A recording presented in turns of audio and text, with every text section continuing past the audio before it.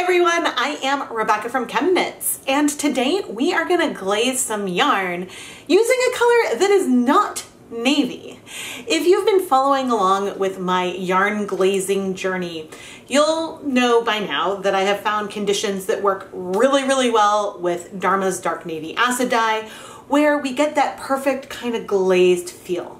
What I mean here is when we apply the dye sort of all over the yarn, but it doesn't go all the way through each of the plies. It sort of settles on the surface, giving an airbrushed look where you can see part of whatever other color is underneath.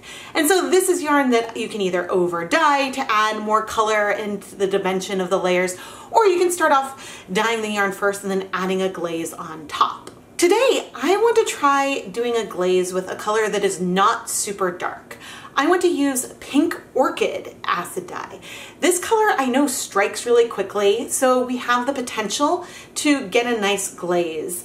Uh, and hopefully there's enough pigment that we would be able to see what's going on beneath the surface really, really well. Now, eventually, I would like to try to do this pink orchid glaze over a yellow yarn because I think that having the pink and yellow maybe would give some like really cool, potentially sunset kind of vibes. I'm not entirely sure, but I think it would be really, really beautiful. But before we try doing this over a yellow, let's try doing this on bare yarn to see if it works, and then we know if we need to modify the conditions further or not. Before we go and start glazing our first colorway, I want to give a huge shout out and thank you to today's lab partner, Val. Val, thank you so much for being my lab partner for this episode of Dyepot Weekly. Today we are going to dye 200 grams of Knit Picks Swish DK yarn. This yarn is 100% superwash merino and the plies aren't particularly high twist or anything. In general, it's a little bit easier to get that shallow color penetration on yarn that has thicker plies and is a little higher twist. But I wanted to start with Stroll because if this color works well on this base, then I know it would also work well on bases with more twist and thicker plies. So this is our starting point. But I've pre-soaked the yarn in just some plain tap water for, oh, well over 30 minutes. For our dye today, we have a 1% stock solution of Dharma's Pink Orchid Acid Dye. And I'm curious how much we have. My goal was to have at least 35 uh, milliliters of this, so at least 0.3 grams of dye. And I have almost exactly 38 milliliters of this dye stock left. So I think that that should be pretty good on 200 grams of yarn. What I didn't do is go back and look at some of the videos that I've done with Pink Orchid, like Valentine's Day. This is a pretty vibrant pink, and so I feel like a little bit can go um, very nice way. So Let's go over to the dye bath now. It's possible I'll end up wishing that we had more dye, but at least this gives us a starting point. So 38 milliliters of this dye is the equivalent of 0.38 grams of the dye. And so we'll be dyeing 200 grams of yarn, but hopefully we should get the color nice and shallow on the surface. In this pot, I started with 32 cups of plain tap water because I used to start trying with the glaze doing short amounts of time with high acid and high heat, but I found I ended up with getting that glazed feel when I started cold with a large volume of water, high acid, and then added the yarn because the dye would slowly absorb onto the yarn, but it would be more likely to strike on that surface, which worked really, really nicely. Following the navy conditions that work well to this setup, I'm gonna add one cup of white vinegar. This is a situation where it certainly would start to get more cost effective for me to use citric acid. The reason why I still use vinegar is because that's what I'm used to. It's already dissolved and it's what I'm comfortable with. But absolutely, you could play around with this with citric acid, and citric acid can be a lot more cost effective. So things are still cold, and now I'm gonna bring over our yarn. I squeezed out most of the water from the pre-soak. And again, we've added the acid already, but I'm sort of doing a quick dip, another dip, move it a little bit, and now I'm stopping. I'm not gonna touch it anymore. If I were, and I'm gonna turn on the heat. if I were to continue to move the yarn in the dye pot, then the, as I say as I poke it, then the dye would be able to sort of like move into the inside of the plies a little bit more. And so this is gonna help us get decent coverage, um, but hopefully that coverage will be a little bit shallow, which honestly might not be something we'll be able to tell really well until our yarn is dry. But anyway, I am going to heat this up and I'll set a timer for 45 minutes. With this big pot, it's gonna take a really long time to heat up, but in 45 minutes, uh, we should be warm and be able to see how much pink is left or not. I believe that the pink orchid dye can strike pretty quickly based on uh, some videos I did for Hanukkah once with Cool Vats, but also from the Valentine's Day yarn I did earlier this year where I was trying to add the yarn to a hot dye bath and it soaked up that dye so fast that I couldn't get coverage all over the yarn, even just doing a quick dip in and shimmy. And so that is giving me my fingers crossed here. Now, it's possible that we could get it and it could feel subtle.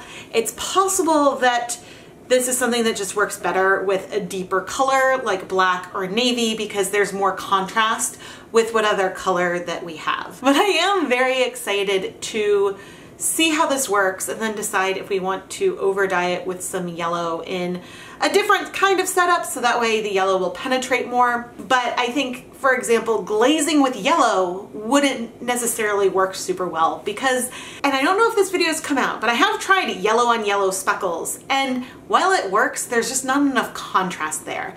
And so you really do need that contrast in order to feel the glaze, whether it's contrast in hue potentially. And so with a pink and a yellow, there should be contrast between the more pink orange spots and then the more yellow spots. And so that should be visu visually fun.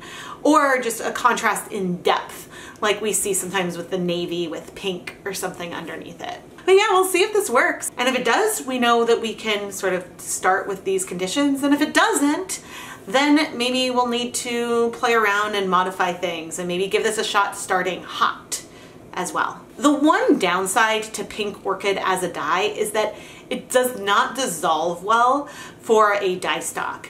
It often, when I've used it, sometimes I describe it almost as feeling pearlescent uh, because it sort of feels a little bit more like a suspension until it's in a hot bath.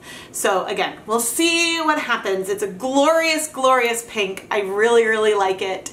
And cross fingers. All right, let's look. So first impressions.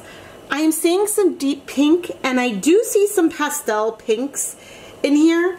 Whether or not it actually feels glazed, it may. Oh my goodness, this may have worked. Ooh, ooh, okay, this is very, very, very exciting. Uh, I don't know if I will be able to show it on camera really well yet, but I think I think we have a glaze. So I think what I'm gonna do, I'm gonna let this heat for 20 more minutes in the pot because it's finally heating up, and then we will remove it let it cool completely and wash it because I want to see this yarn dry. I debated over dyeing it, but I think that I want to see the proportions to know if we want to try to increase the amount of pink that we have here so we would potentially get more contrast or just start with yellow and go for it with these proportions. But seeing the yarn dry will help me make those determinations. And then we'll continue on with this video and do some other version of this glaze. So this won't be the end of the video, but we will look at dry yarn in the middle of the video to learn a little bit more. But I'm excited. All right, we are done heating this yarn. So I am going to carefully remove it, but I don't know, I don't think it picks up well on camera yet. So we'll see once it's dry if I could show how part of it feels glazed. I feel like it worked uh, pretty well. So anyway, I'm going to set this yarn aside to cool completely so we can wash it. Let's wash our pink glaze attempt. Now, the things are completely cool and so there's no longer seam. I definitely feel like I see some of a glaze. And yeah, I think that it is also a little subtle. So I think that the best way to do this type of glaze would be over uh, some colors that contrast with the pink because the pink isn't that dark. But so far, I'm not seeing any bleeding and I'm not expecting to see any because this is a color I've used a lot. I'm gonna add a little bit of dish soap though. Uh, yeah, so the thing I was curious to see is whether or not we wanna try this with a little bit more dye or stick to the proportion that we have here. Uh, but I think it is very pretty and even though you can see that the yarn is very tonal, it does strike pretty qu quickly. Uh, we do have some amount of coverage all over. But anyway, I'm not seeing any bleeding here either. So I'm gonna finish rinsing out the soap. Then I'm gonna put the yarn through my spin dryer, hang it up to dry so we can figure out what we're gonna do next. Here is the finished dry yarn from the first round. And it did work. I'm not sure how well the camera is picking up that like airbrushed feel, the feel where in places it almost is like the dye just is on the halo of the yarn. And if like I untwist, you can see that there's clearly some areas that did not pick up the color. And I'll do this with my better lighting at the end. I'm not sure how well it's showing up on camera, but there's just this light wash of pink with a subtle pastel pink underneath. I'm not ready yet to necessarily try this over another color. Let me zoom in on another spot. Maybe at this exposure you can kind of see how there's like a little bit of dark pink just on the outside. I'm not ready yet to try this over yellow or over another color. I first want to see if I can kind of up the volume of the pink orchid so that way maybe there's a little bit more contrast between the bare yarn and that little bit of pink because if we don't end up with a lot of contrast with the glaze, then adding more other color will just make things feel more subtle. The other thing that's interesting to note is that this yarn feels a lot more tonal than some of the yarn that I did with navy. There's some areas where it's just really, really pastel. And I think that's because the pink orchid is striking so fast, which is a good thing. But anyway, let's set up for the next round. I put on my respirator mask, safety glasses, and gloves and measured out 0.8 grams of the pink orchid dye and then dissolved this dye in some hot tap water. The best that I could. Pink orchid doesn't dissolve really, really well. Just like last time, we have 32 cups of water, one cup of white vinegar in my dye pot. It's all still cold. And we're gonna add that 0.8 grams of dye that I had just measured. Um, rinsing out the cup. I'm gonna rinse out this cup one more or two more times, we'll see. Trying to just make sure we get all the dye into our container.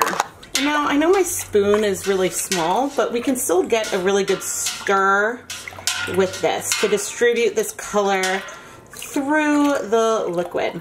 This is only double the amount of dye that we tried last time, but uh, hopefully this will just amp up the volume of what we observed before a little bit. I'm now coming in with the 200 grams of Swish DK, but this time I did not squeeze out all the liquid from the pre-soak. So there is some uh, liquid in here and I'm raising it, lowering it, sort of giving it a little bit of wiggle, and now I'm stopping. I'm stopping. I'm not gonna stir anymore. We did our best to help open things up, get coverage all around. And I am going to turn on the heat to start heating this up, letting the dye do its thing and hopefully striking quickly onto the yarn. So I'll check back in in about 30 minutes, but if I notice it's boiling, which it may not be boiling by then, then I'll reduce the temperature. It's been about 30 minutes and I am going to risk moving. Yeah, we've absorbed most of the color. I do see some glaze on here. And I feel some areas that maybe won't feel glazed, but I don't know. Um, I'm again gonna need to see it dry to know for sure.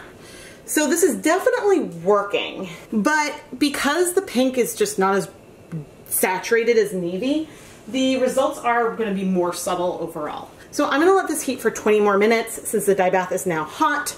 And then I'm going to let the yarn cool. I'll wash it off camera And then we'll take a look at the dry yarn to decide how we may want to proceed. Excuse the poor lighting, but we have one of the first skeins we glazed with pink orchid and one of the second.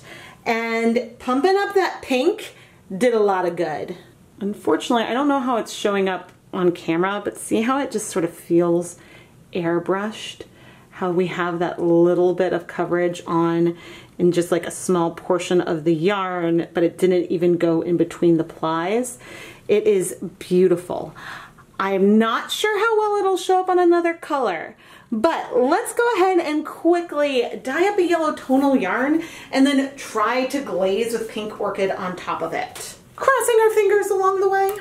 Since we're gonna try this one more time, I wanted to start with creating a tonal yellow base. So I set up a dye pot with 16 cups of water, 50 milliliters of a 1% stock of Dharma's Brilliant Yellow, three tablespoons of white vinegar, and then 200 grams of dry Swish DK yarn. I started with dry yarn so that way we would have a tiny bit more variation in here.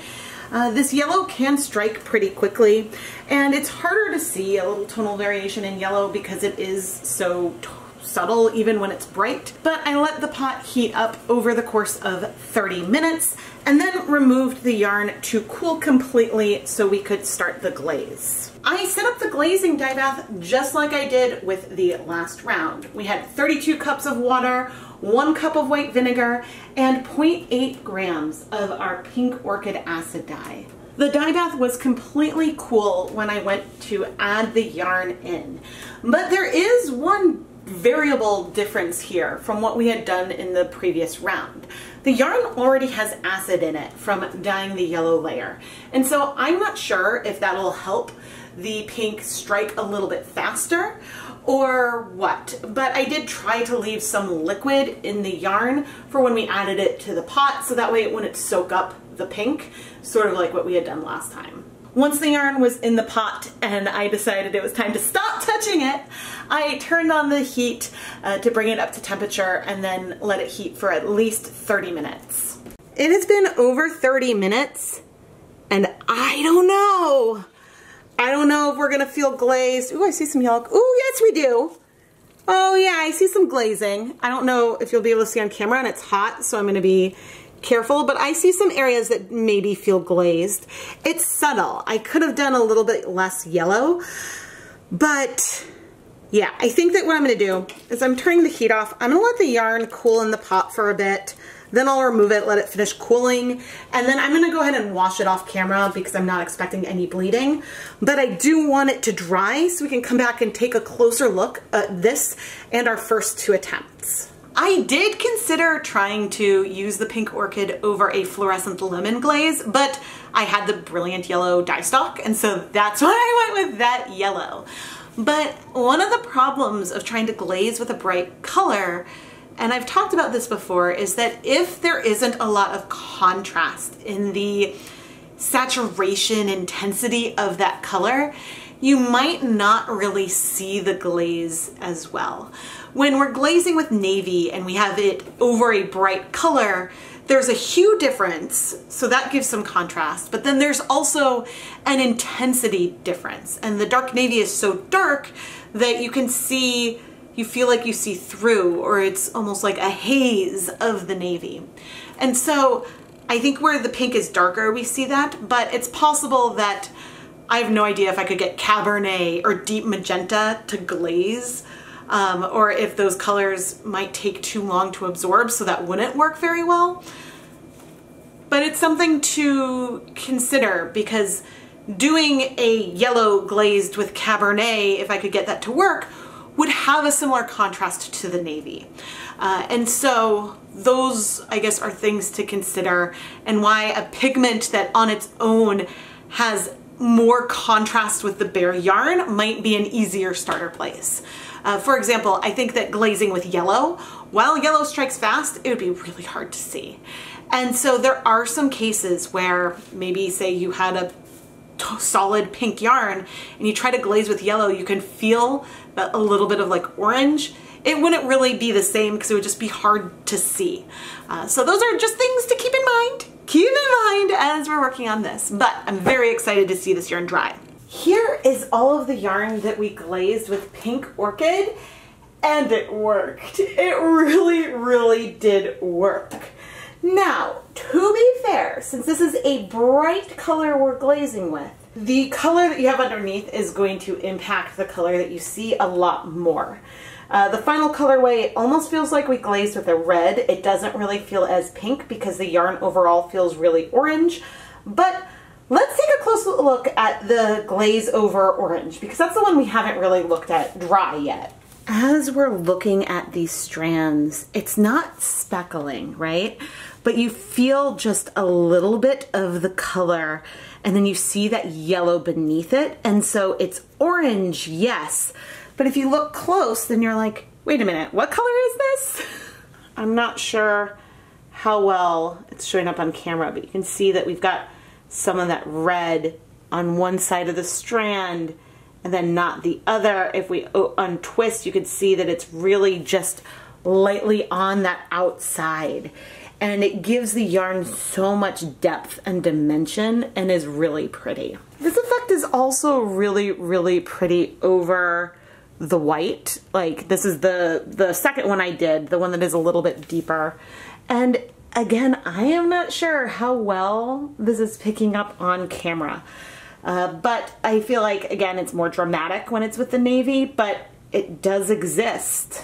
It helped for sure that I knew how quickly this color strikes. And so having a feel of different colors before you want to use it for a particular technique can be really helpful to get good results at first. But you see, we did tests and I did three different iterations here. And I may go back to trying to glaze yarn that's really hot. In some ways, that could give some better results. It's just, you see how the pink, we have a lot of tonal variation in here. It's not like we have a super even layer of it across. My thought is that if we had tried to do this hot, the color would have struck really, really fast, but we wouldn't have had as much of the color all over the yarn as we do here. And so, yeah, I mean, I, I'm gonna do more deep dives into glazing. I have to. This is a technique that uh, eludes me a bit, but also is awesome and I love. The difference between having just a little bit of the pink orchid and having it maybe like twice as much of that pink orchid there is so subtle because in both cases we have a very similar pastel pink that is sort of showing through it. But you do almost feel more of a glow here and that is really cool. I mean, picking up pink on camera can be hard, and so therefore I'm never sure how well this is showing up. But you do kind of just feel the patchiness, but the sort of even patchiness, and it's just so fun. I have no idea who originally termed the coin glaze, but it does evoke a similar thing where if you use a dark clay or a light clay, the glaze is gonna look different because some of what's beneath the yarn is going to show through. And I absolutely love it and need to try to play around with this using other types of colors. I think that that would be really, really fun. Val, thank you so much for being my lab partner for today's episode of Dyepot Weekly. All along the way, I wasn't sure how many projects we were going to do in this one video. And we ended up doing three, and I'm so glad that I tried so many different tweaks on this colorway. If you would like to learn more about how you can become a lab partner like Val for an episode of Dyepot Weekly, go and check out the listings in the ChemKnits Creations Etsy shop. There are two different types of listings. One is just a lab partner listing and the other is a last minute lab partner listing where I've already started the dyeing project but then I can film and include some last minute shout outs for you in the video. You can find more details in the links that will be down in the video description. Val, thank you again for being my lab partner, and I really hope you're gonna love your yarn. Now, I definitely don't plan to systematically go through every single dye in my collection and note these ones strike fast, these strike slow. But some of this is something that you learn the more you play with different colors, and then you see, oh goodness, this struck to the yarn a lot faster than I, than I thought. Or honestly, from doing a leave no dye behinds where I would add things in and I take it out, I'm like, okay, this looks glazed. How come I keep doing that on accident? And I think the answer there is adding the yarn and leaving it in the pot, Rebecca. So it's possible that hot, maybe the mistake is removing the yarn from the pot. You add the yarn in and then leave it. Just like I do here with the cold, leave it and let it absorb all that color. And so maybe that is what I need to try and play around with that, revisiting things hot again. Because in any of the circumstances when I tried it hot, did I just leave, ever leave the yarn in the pot to absorb all the color? Or did I always remove it? That's something that's very interesting and worth me exploring more. Thank you all so much for joining this whole ride as I tried glazing with something that is not navy blue. If you loved the video, please make sure you're subscribed, turn on notifications so you never miss a new video. A lot of times I will decide that I'm gonna live stream fairly last minute, and so having your notifications on is the best way to make sure you can join and hang out while I am streaming. And of course, you don't want to miss any of the Dyepot Weekly episodes or everything else that I put out on the channel. If you love the content I'm creating and want to help support the channel on another level, I do have a Patreon. You can learn more at patreon.com slash chemknits. I also have an Etsy shop where a lot of my hand-dyed yarn ends up. But since I know a lot of you are dyeing your own yarn, sometimes having non-yarn ways that you can support the channel is really, really handy. I am Rebecca from ChemKnits, and thank you so much for watching.